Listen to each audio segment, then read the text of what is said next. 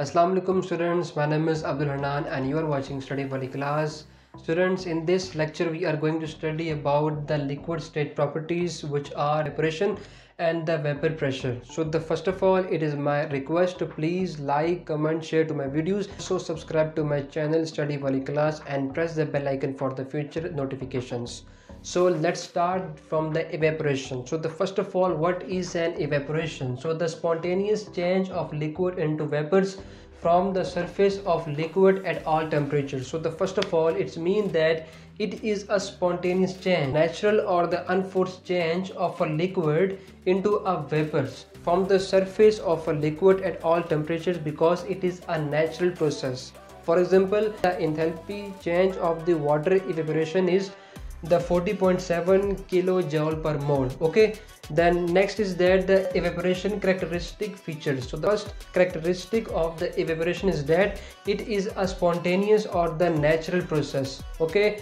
Then it it continues it's mean that it occurs at all temperatures because it is a natural process. It is also a cooling process because it is an endothermic process. It is not an exothermic process because it does not release the energy or the release the heat. Next are the factors that are affecting the evaporations. Factor is that the surface area.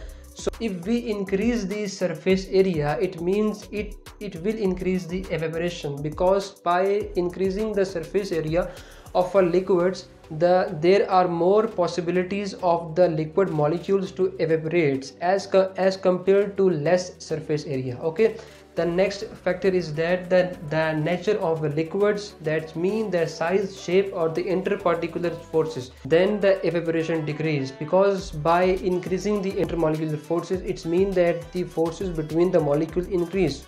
So it means it will require more energy to escape the molecule because the the forces which are uh, strengthening and holding back the molecules uh, is increased the next factor is the temperature. If we increase the temperature then of course the evaporation increases because by increasing the temperature the initial push it means the initial heat that is that is required to the molecules to break the intermolecular forces uh, increases. So the increase in temperature means more molecule escape from the surface. That's why the evaporation increases then we have the external pressure. So if we increase the external pressure then the evaporation decreases. Because by increasing the external pressure it means there is a more pressure in the surrounding as compared to surface okay?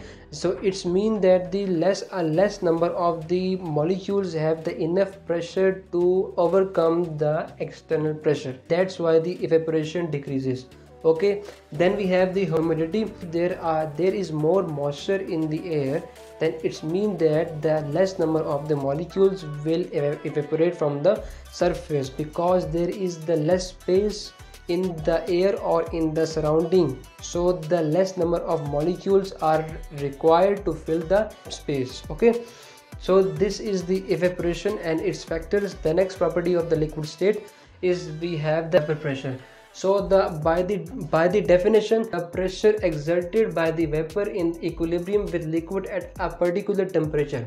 It means the specific pressure which is exerted by the vapor of the liquid state which are in equilibrium with liquid at a particular temperature. So from this definition i show that the vapor pressure occur at a particular temperature and and the pressure which is exerted by the vapor is in equilibrium with the liquid. Okay? So the the vapor pressure is measured by the manometric method. In the manometric method we use this formula which is the p pressure is equal to pa plus delta h where the p is the vapor pressure of the liquid and the pa is the atmospheric pressure. Okay? And the and the delta h is the difference bit of height of the mercury column in the two limbs of the manometer okay so the next we have the factors affecting the vapor pressure. So the first factor is the is the nature of liquid which is the size shape interparticular forces. So this is the intermolecular forces. So if we increase the intermolecular forces then the vapor pressure decreases. Because if we increase the intermolecular forces it's mean that the more forces are holding the molecules in a liquid state that's why the less number of the molecules are present in the in the vapor state. So the less amount of the pressure is exerted by the vapor in the equilibrium with a liquid. That's why the vapor pressure decreases as the intermolecular forces increases okay and the next is the temperature. So if we so if we increase the temperature of the liquid then the vapor pressure also increases. Because by increasing the temperature the more number of the liquid molecules are able to escape from the surface with the minimum amount of energy that is required to evaporate from the surface. So that's why the number of the molecules are present at the vapor state that's why the vapor pressure increases. So these are the factors affecting the vapor pressure. Until the next video care of yourselves and your family members. Love